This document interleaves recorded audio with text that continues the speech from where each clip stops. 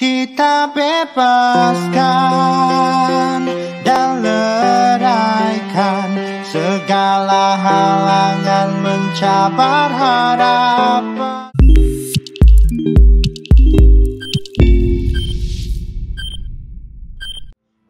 Uh, okay, um, nama saya Salihuddin Marji. Okay, umur okay. saya 31 tahun. Tahun ni 30, 31 tahun. Uh, saya berasal dari Kota Tinggi Johor. Um, dan sekarang saya masih lagi bergelar pelajar di Universiti Teknologi Malaysia Skudai.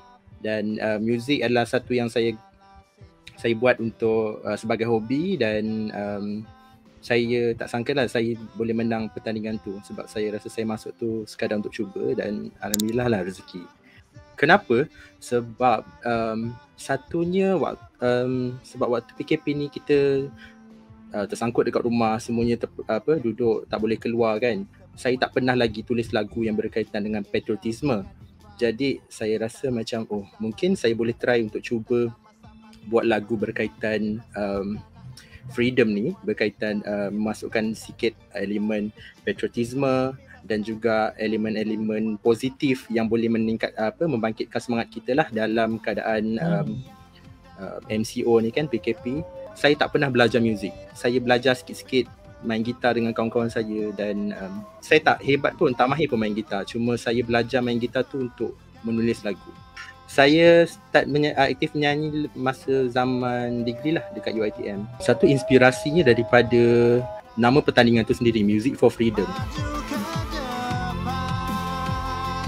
Jadi saya gunakan tagline ataupun lirik kita bebaskan tu sebagai satu yang orang boleh ingat dalam lagu tu. Kalau perasan dalam lagu hmm. tu ada rap kan? Yeah, yeah. Saya bukan rapper. Saya biasa nyanyi lagu-lagu balada, lagu slow. Ha, itu cabaran dia. So seorang orang yang selalu menyanyi lagu balada menjadi rapper dengan terpaksa. Ha, macam tu lah.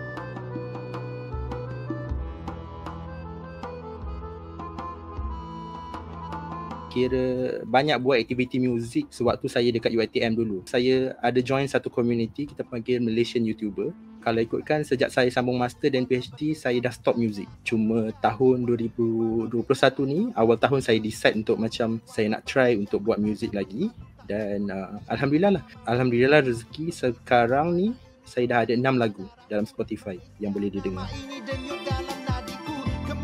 Berhenti dalam bidang muzik tak, saya masih minat lagi cuma saya lebih minat untuk jadi komposer. Lagu kita bebaskan ni saya try untuk uh, mungkin bagi awareness ataupun bagi semangat pada orang sebab kita dah hampir 2 tahun uh, apa berlawan dengan COVID-19 yang saya masih lagi tak nampak di mana penghujungnya kan. Mungkin bila kita dengar kita akan rasa oh sebenarnya bukan aku seorang je yang terseksa ataupun aku, bukan aku seorang je yang hadap semua benda ni. Kita semua hadap benda ni sama-sama. Saya tak tahu berkesan ke atau tak. Saya rasa muzik tu adalah satu terapi dan juga cara yang bagus untuk kita sampaikan sesuatu mesej pada orang lah